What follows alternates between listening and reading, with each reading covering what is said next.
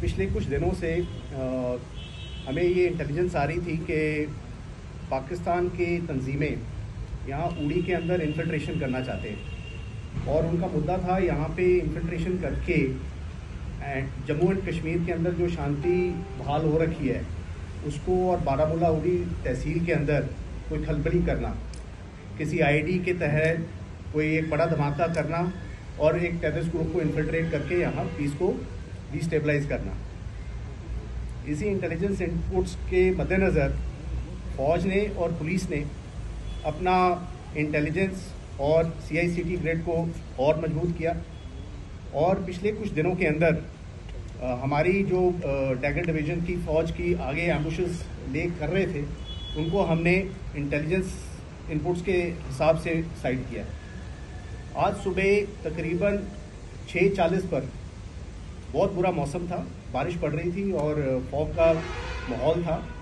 हमारे यहाँ रुस्तम बटालियन के हतलंगा एरिया के अंदर एक जो एम्बुश साइटेड था, उसने नोटिस किया कि तीन से चार टेररिस्ट ये एलओसी क्रॉस करने की कोशिश कर रहे हैं हतलंगा नाला के नज़दीक। इमीडिएटली कांटेक्ट इस्टेब्लिश किया गया।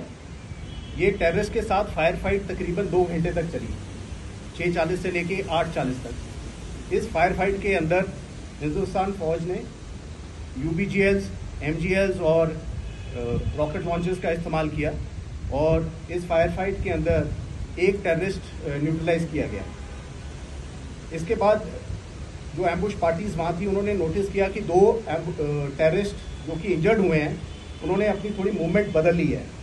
तो उसके हिसाब से एम्बुशेस ने रिसाइड किया और तकरीबन सवा नौ बजे फिर से एक सेकेंड फायर फाइट शुरू हुई। ये फायर फाइट तकरीबन आधे घंटे तक के लिए चली, जिसके अंदर की दूसरा टेररिस्ट भी न्यूट्रलाइज कर दिया गया। इसी दौरान तीसरा टेररिस्ट जो इंजर्ड हुआ था, वो पाकिस्तान फौज की पोस्ट जो नज़दीक में है, उनके फायर सपोर्ट की मदद में उसने एक्सफिल्ट्रेट किया। इस पे ये चीज़ नोट करने की ज़रूरत है पाकिस्तान आर्मी की पोस्ट ने इस टेररिस्ट को एक्सफिल्ट्रेट करने के लिए फायर सपोर्ट दिया और हमारी तरफ़ फायर किया। फौज की जो पार्टीज़ इन्वॉल्व थी, उन्होंने वहाँ कॉडकॉप्टर भी फ्लाई किए। पाकिस्तान फौज ने हमारी कॉडकॉप्टर्स के ऊपर भी फायरिंग की। और ये टेररिस्ट जो तकरीबन 300-400 मीटर पाकिस्तान की तरफ़ एक्सफिल्ट्रेट किया वहाँ जंगल एरिया के अंदर। ये जाके वहाँ गिर गया और हमारे अनुमान के हिसाब से वो उसकी वहाँ ही वॉज़ किल्ड देयर एंड उसके बाद उसकी बॉडी वहाँ से रिकवर की गई एंड वेदर बड़ा ख़राब था। इसके कारण क्लैरिटी भी नहीं आई but further operation and search इस एरिया में दो बजे तक चलती रही है। ऑपरेशन दो बजे इनिशियली कॉल्ड ऑफ़ हो गया है। अभी इलाके के अंदर अभी भी सर्च चल रही है। हमारी पार्टीज़ वहाँ तैनात हैं। एंड अभी तक का ऑपरेशन जो कि आठ घंटे तक के लिए चला है इस ऑपरेशन के अंदर पाकिस्तान के तीन टेररिस्ट न्यूट्रलाइज कर दिए गए हैं। दो टेररिस्ट की बॉडी रिकवर की गई है। एक टेररिस्ट पाकिस्तान की साइड में जाके उसकी डेड बॉडी पड़ी है जिसका हमें अनुमान है कि उसकी बॉडी उधर से रिकवर कर दी गई है। एंड ये ऑपरेशन दर्शाता है कि पाकिस्तान फौज किस तरीके से मुलविस है। टेररिस्ट को हमारे यहाँ इन्फिल्ट्रेट करने की मदद करती है, उनकी फायर सपोर्ट देती है और मॉरल सपोर्ट देती है। एंड कश्मीर के अंदर किस प्रकार से पाकिस्तान की फौज मुलविस है, यहाँ पे हमारे पीस और सिक्योरिटी को हार्म करने के लिए। देखिए, ये इनका टेररिस्ट का ये एक पुराना मोडस ऑपरेंडी है। कि जब ये ये इन्फिल्ट्रेट करने की कोशिश करते हैं, ये बुरे मौसम का लहजा लेते हैं। एंड आप देख रहे हैं, पिछले 48 घंटे से यहाँ हमारे बहुत बारिश पड़ रही है और मौसम बड़ा ख़राब था। तो इस चीज़ का फ़ायदा उठाने की कोशिश की है इन्होंने।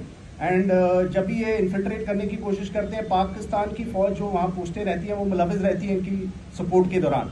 एंड इस ऑपरेशन में जिस प्रकार से वो तीसरे टेररिस्ट को उन्होंने एक्सफिल्ट्रेट करने में कोशिश मदद की ये पाकिस्तान फौज की जो इन्वॉल्वमेंट है, उसको मुलविज करता है।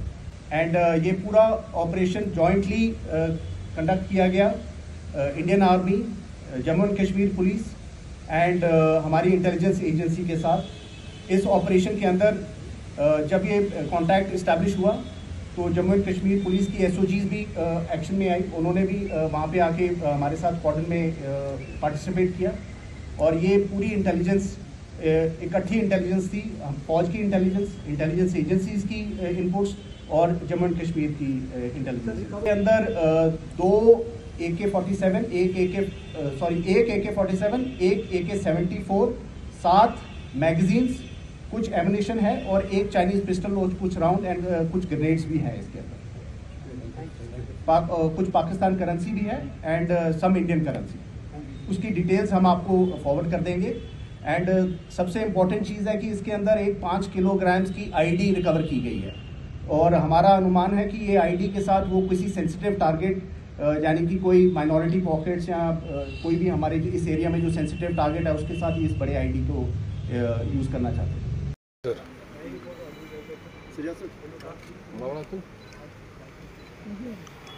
हो गया भाई सब?